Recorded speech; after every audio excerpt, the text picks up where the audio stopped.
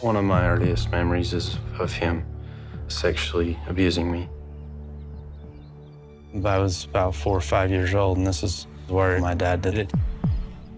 I remember him telling me, you should never do this. And then he did it to me.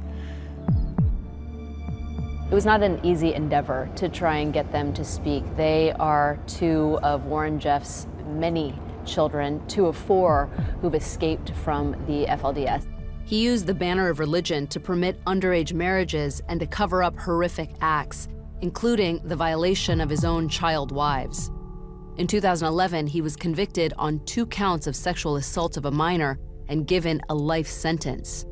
They knew that we were going to treat them and their stories with dignity, and so they really allowed us into their worlds and they shared with us things that they literally have not shared with some of their closest family members. They want the world to know, and, and particularly they want people who are still in the FLDS to know, people who still regard Warren Jeffs as the prophet, that this man was far from perfect. How many kids do you think your father has molested?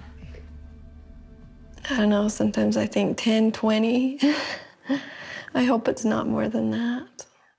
The hardest part about filming this episode was just trying to be respectful and sensitive to the things that Becky and Roy Jeffs had gone through. I mean, these are two people who have just left the most closed, isolated community in the United States. They're almost like children who are experiencing things for the first time in their lives.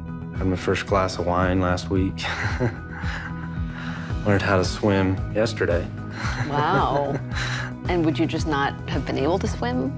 We were taught not to. Why? We were taught that the devil has control of the waters. What they'd gone through was so horrifying and so traumatizing.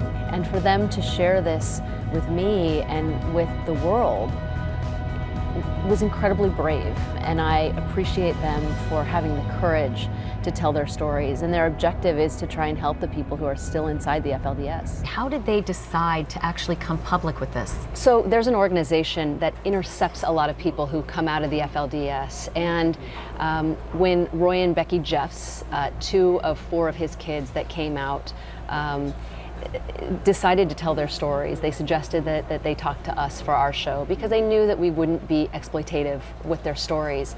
Um, and, and it's important to keep in mind that both Becky and Roy, they're not people who are eager to write books about their story. They don't want fame and fortune by any means. In fact, they're still trying to just adjust to life outside of the FLDS.